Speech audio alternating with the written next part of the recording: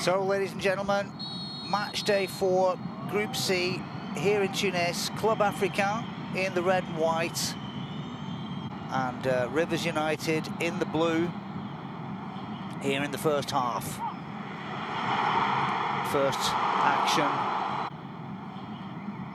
for the home side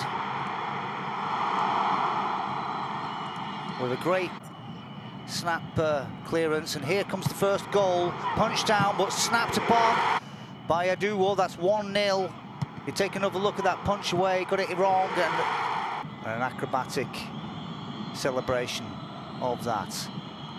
They struck tried to strike back. They thought they were they thought they should have had a penalty the Nigerians and you know you could debate this one. It's the second it's the second rebound and here comes this horrific second goal at the end of the first goal. Look at this, look at this pass. Straight to the striker and bang in the back of the net. 2-0 right on the stroke of half-time. How about that for a fluffed pass out of the box? Awful. Bang. Goalkeeper couldn't believe what he was watching. 2-0.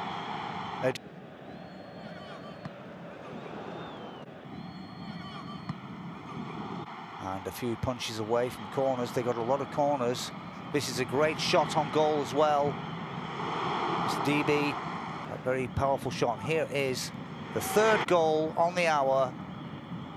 Towering header from Bedwi. Here it is again, back of the net, 3-0. And that was game over, really, for the visitors, Rivers United of Nigeria, who were going to go home with a 3-0 beating. And almost a 4-0 there after that uh, bit of atypical goalkeeping from Akan.